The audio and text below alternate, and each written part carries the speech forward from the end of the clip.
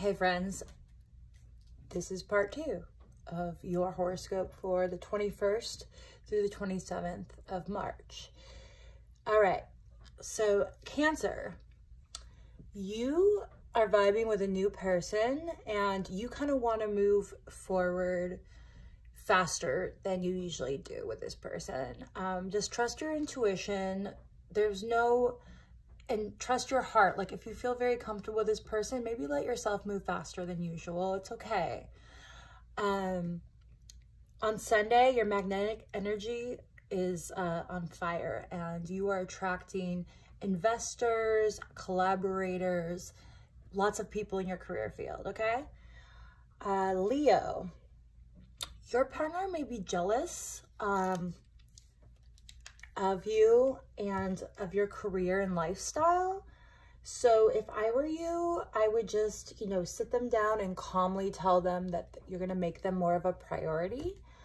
Because, uh, you know, it, they, they're only human. And so they're just getting jealous because you have such a big life and you attract so many people, okay? Um, calmly explain, you know, that you love them and like prioritize like one day for them if you work a lot. Uh, look up travel deals. I feel like Leos are in need of like a really quick little getaway. Um, so that's yours. Virgo, this is a steamy week for you, Virgo. This is all about romantic partners with this Sagittarius moon.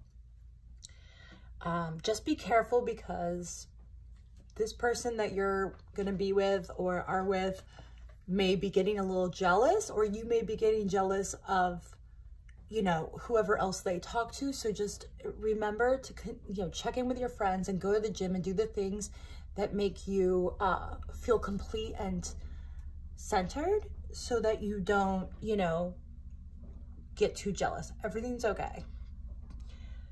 You help a lot of people and Tuesday, Tuesday's energy will make you learn how to slow down. So don't pick up an extra shift at work if someone asks you to. Like, just let yourself slow down because you're always there for other people. It's time to be there for yourself.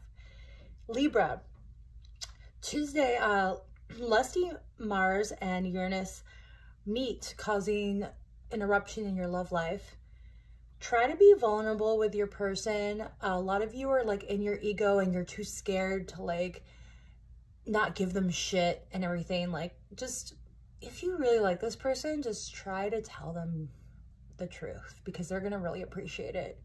And it's going to move you to the next level. And I think for most of you, whatever person you're dating, you want this to be next level situation. You may also feel uh, defensive with someone this coming week.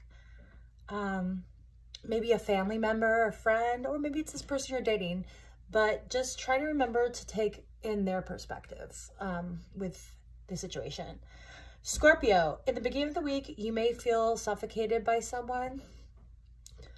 Um, if you're holding a resentment, just take it out in the gym. Don't take it, try not to take it on the person, okay? And spring cleaning is going to be your priority on Sunday. You could be throwing a bunch of stuff out that you don't need anymore, but you will be cleaning up your space and feeling a lot more comfortable by Sunday.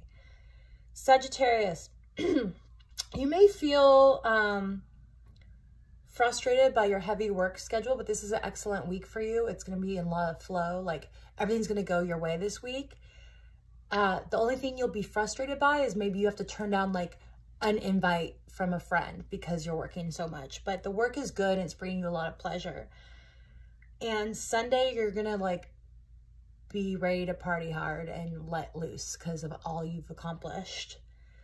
Uh, single Sages will be attracting a lot of partners this week. And if you're in a relationship, you will hopefully be taking your partner out on a date because this is a very romantic week for you as well.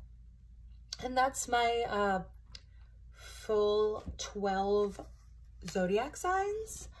Right now, I'm just going to give you a little bit um, of a day by day, energetically day by day for all the signs, just based on the planets. So on Monday, Monday's about self-confidence. Everyone's going to be feeling very good.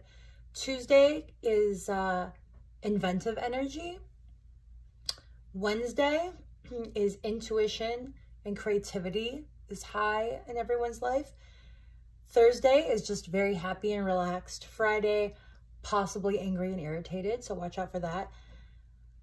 Saturday, uh, intelligence, social media, attention, good communication. And Sunday is just, it's, it's all about connecting with others, relaxing and spring cleaning um, energy. So yeah, have a wonderful week and I'll see you next one.